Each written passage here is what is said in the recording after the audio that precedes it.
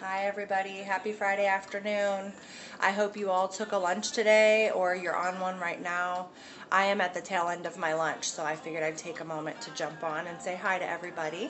I hope you had a wonderful Friday morning and I'm so glad to see you got through your work week. If you're a Monday through Friday like me, you've got the next couple days to woosah if you don't have any major things going on this weekend. I personally don't have any plans other than to exercise and kind of get caught up on some TV shows that I've been told about. But um, relaxing is a big thing. That self love thing that I've been doing lately, my love story update, it's working out. It really is. And I just feel so good mentally and physically, um, emotionally as well. It's amazing how you can improve your entire disposition when you take time for yourself. When you actually put yourself first or not last at least. I mean, I've got two little ones, so I can't always put myself first, but I don't forget myself anymore. And that is the most important thing that you do not forget yourself in the light of everything going on on, on a daily basis. Don't forget you because let me tell you, it can be detrimental.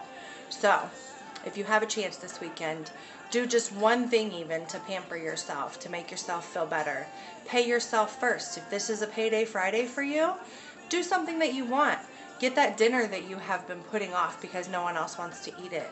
Or go buy that shirt or pair of pants or shoes or something that you want. Um, you know, you work hard all week, right? You deserve that paycheck. You don't need to just be paying your bills. If you can afford to go do just even one thing for yourself, please do it. That's one thing that I never did. In the past, I had the hardest time spending money on myself. I still don't do a lot, but I do something. So, you know what? Reward yourself. Reward yourself for getting through every day. Reward yourself for being the person that you are because you are amazing. No matter what you are made up of, you are made the way God intended you. So please embrace that. Know that you're important. Have a wonderful rest of your Friday and a fantastic weekend. I'll see you again tomorrow if I don't jump on later with another video. But until then, just keep pushing.